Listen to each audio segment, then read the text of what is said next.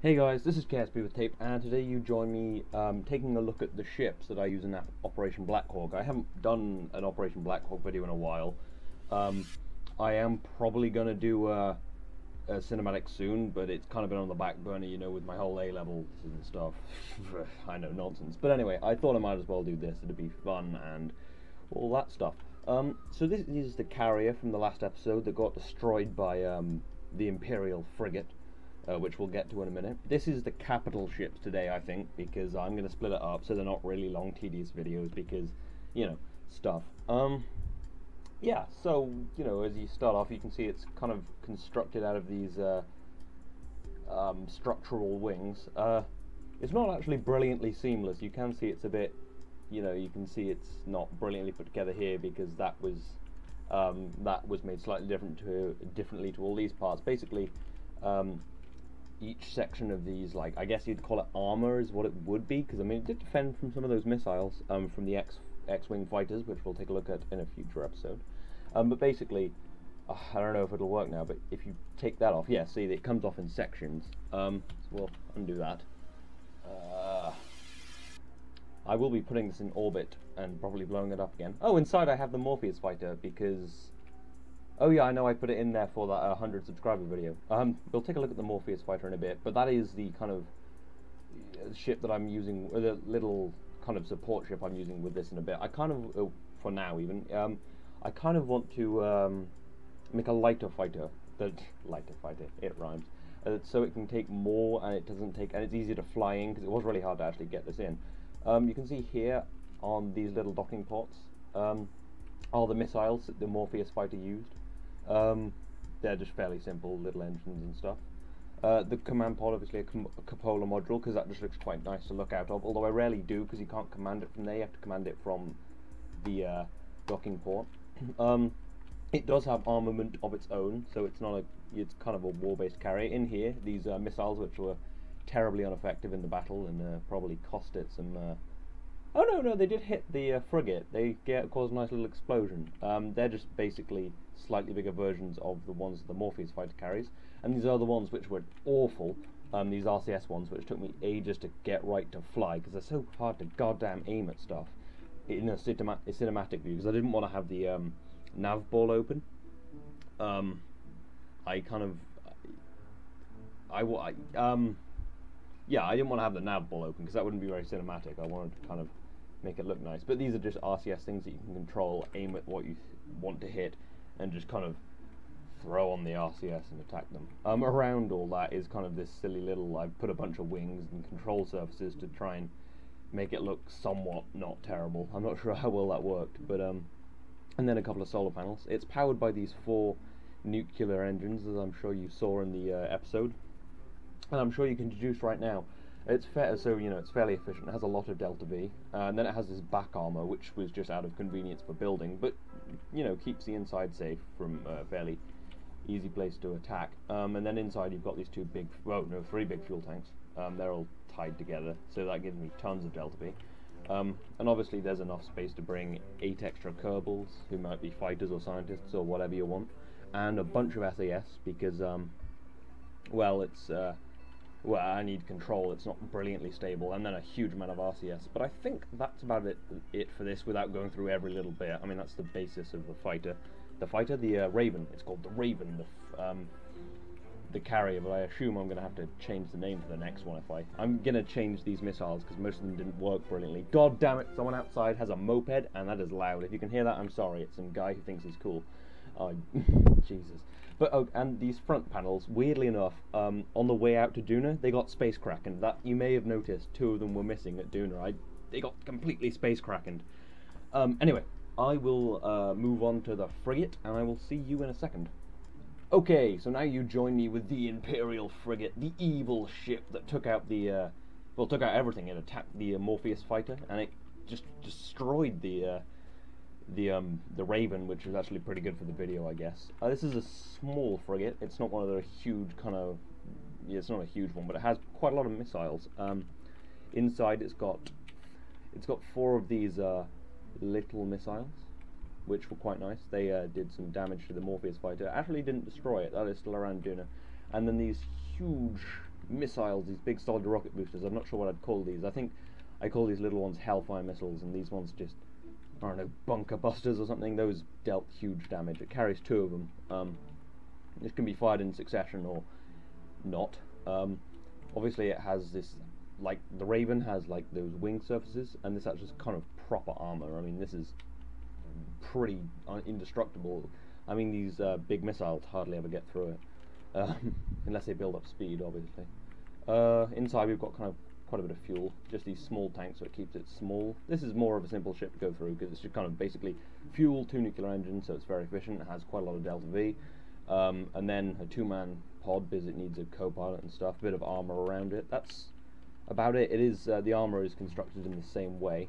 Um, kind of you can take off modularly. Uh, oh, that's actually a pretty good way to see the inside of the ship. Look, yeah, and it's all supported by these little um, these little struts. I mean, that really strengthens the armor. But yeah, that's the inside of the ship. Um, and all of my missiles have these docking ports behind them so that I can reload them with probably a slightly different setup, but you know, it would still work. Um, but yeah, I think I'm going to put these in orbit now and, uh, you know, blow up the Raven again, because that's fun to watch, and then we'll get to talk about the missiles. Yay, see you in a bit. Okay, I'm back, and I thought this scene was very cool. Um, I was going to move them apart to hide that I had cheated these into orbit for now. Um, I will be doing a kind of launching big ships video at some point, but I literally don't have time right now. Um, but yeah, uh, because I had to hyper edit these into orbit, sorry. Um, yeah, but basically you can see how awesome this looks. Um, because they were right next to each other, you can see this little frigate is so much smaller than the carrier, and it just looks. I just really like the scene. I don't know. I think this is probably gonna be the thumbnail of the video.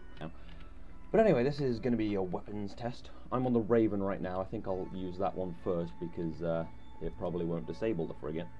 I'll quickly quick save so that I can, you know, quick load should it actually disable it. Oh, controlling from the wrong place. It's best to control... Oh, left the Morpheus fighter in there. Won't be using that now. That'll be in the uh, next episode of this probably, the fighter episode, where I uh, show you all the fighters. The infamous X-Wings.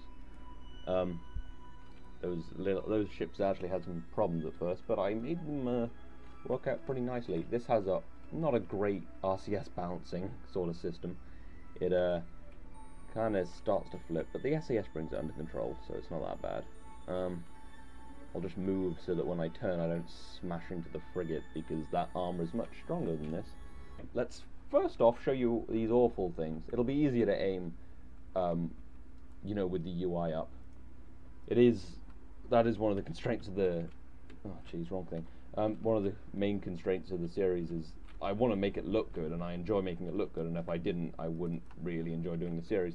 So I can't have like the UI up all the time, and it's quite a lot of, uh, you know, flying and then uh, changing stuff. So we'll just accelerate with our one RCS port, getting a bit of bit of velocity up. Probably won't do much because it's pretty tough armor, but yeah, it's more of an anti. Uh, fighter missile. I'm just gonna... Oh, it's lodged in there, though. So, that's good. Yeah, fuck you. Yeah, so that's not brilliantly effective. Next are the little Hellfire missiles, as I call them, because it sounds cool, I guess. It sounds cool if you're a nerd like me. If you're like a normal person, then it's really lame. I'm so cool. Anyway, uh, ignite these engines, which are the missiles up front, I hope. And then fire them up. And then open fire. Oh, those flew really well that time, but they missed. Often they just kind of fly off randomly.